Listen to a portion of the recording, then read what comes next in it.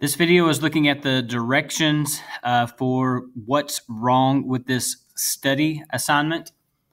Uh, this is a simulation. So it says go through the simulation via the link. Here's the link. It says what's wrong. Uh, you'll click on the link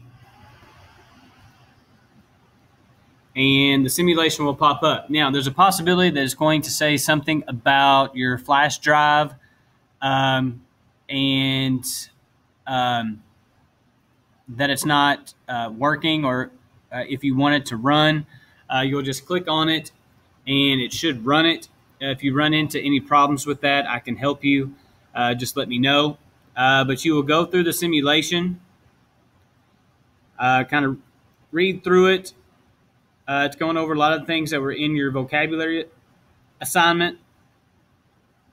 Um, but you'll hit the next button after you get done reading it but as you go through it, there is a, Google Doc that you're filling out.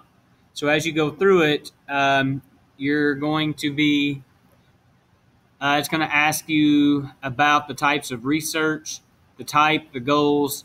Um, so basically, you're going to be answering the questions as you go through it. Um,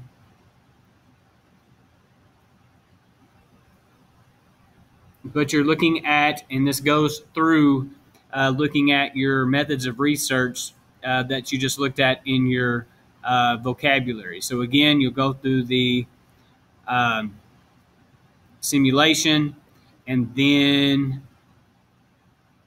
um, you will fill out the doc. Now, in here, it says, in your own words, describe the single most important flaw in this study's design or interpretation um, those questions that are on there is going to be like this right here is the question I just read. So you're not actually filling it out on here. Um, you'll you can just kind of you know do whatever here, but you'll actually answer them on the Google Doc.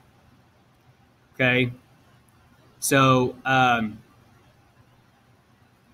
as you go through the simulation, just make sure that you're filling out the Google Doc here as you go. If you have any questions, let me know.